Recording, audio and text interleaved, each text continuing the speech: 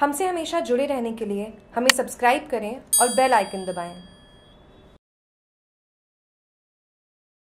ANM का सरकार के खिलाफ हल्ला बोल विधानसभा चुनावों को लेकर राजस्थान में किसी भी वक्त आचार संहिता का ऐलान हो सकता है, लेकिन राज्य सरकार के लिए विभिन्न विभागों की हड़तालें सरदर्द बनी हुई हैं। मुख्यमंत्री वसुंधरा राजे के खिलाफ अब सेहत की हिफाजत में अहम किरदार अदा करने वाली एएनएम और एलएचवी ने हल्ला बोल दिया है। जानकारी के अनुसार राजस्थान विधानसभा चुनाव के नज़दीक आते ही सभी कर्मचारी हड़ताल पर चल रहे हैं। बार को एएनएम एसोसिएशन ने, ने भी अनिश्चितकालीन हड़ताल पर रहने का ऐलान कर दिया है। एएनएम एसोसिएशन की मांग है 2018 में निकाली गई एएनएम पदों में बढ़ोतरी करना काउंसलिंग कर जल्दी भर्ती करना न्यू पेंशन योजना को पुरानी पेंशन योजना में बदला जाए एडिशनल एएनएम जैसे गैर नोटिफाइड बदनाम को समाप्त कर कैडर में समायोजित किया जाए। वहीं उन्होंने ड्रेस कोड को बदलने के साथ हल्के पिंक करने की मांग की है। अपनी हड़ताल में सरकार से एएनएम एसोसिएशन दो दो हाथ करने के मूड में है।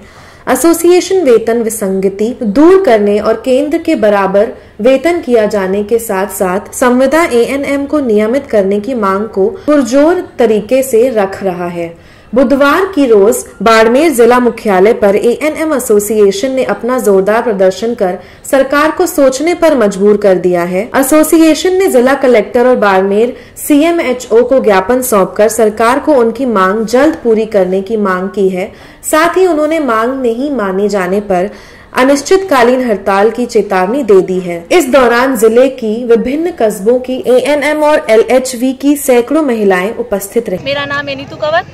मेरा डिस्ट्रिक्ट है में और मैं सी मतलब ब्लॉक सिनोदरी से आई हूँ और हम सभी बहनें हड़ताल के लिए आए और हमारी मांगे हैं। तो सबसे पहली मांग है कि हमारा ग्रेड पे वो छत्तीस किया जाए, दूसरी मांग है प्रतिलिपि लागू की जाए, तीसरी मांग है कि हमारे जो ड्रेस है उसको हल्का पिंक किया जाए, जो वाइट है।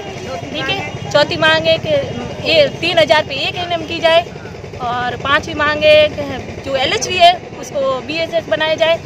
और पाँच छठी मांग है कि एन कर्मी है, उनको स्थायी किया जाए और एडिशनल नाम है, उसका हटाया जाए और हमारा समय एक टाइम किया जाए, जो चौबीस घंटा ही होता है, ठीक है?